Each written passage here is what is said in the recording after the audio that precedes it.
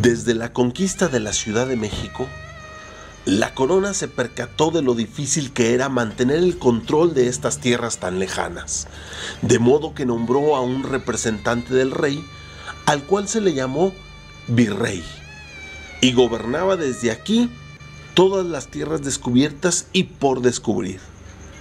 Las tierras descubiertas eran ocupadas y arrebatadas arbitrariamente en nombre del rey de España y por autorización del virrey.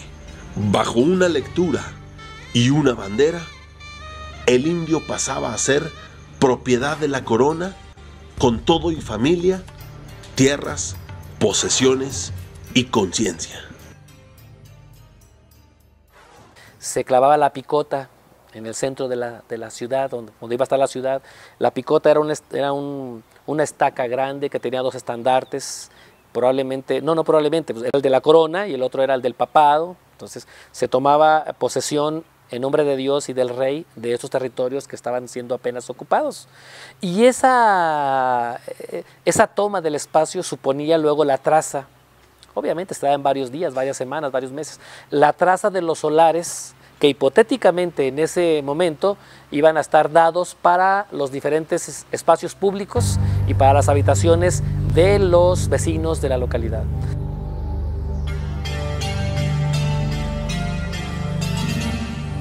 Eh, se dan muy lentamente, son espacios poco poblados, pero naturalmente van poblándose en la medida en que hay mercedes de tierras y aguas. Es decir, para propiciar la población de estos lugares y que los vecinos se asienten allá, entonces se requiere que el, rey eh, o el gobernador, por la vía del rey, merced de la tierra y merced del agua. Es decir, tú te quieres asentar aquí como vecino, tienes que vivir acá con tu familia, te mercedo la tierra para que la trabajes, te doy el agua para que cultives y entonces apropiate de este espacio.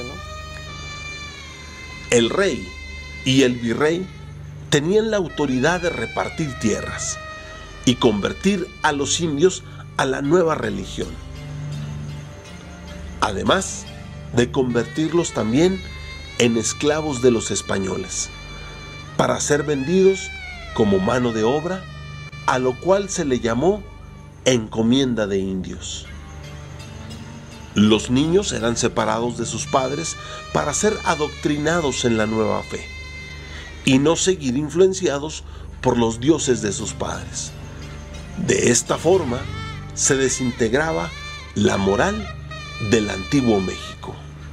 Los misioneros invitaban de manera voluntaria a abandonar la antigua religión y a adoptar el catolicismo como fe única con el acto del bautismo.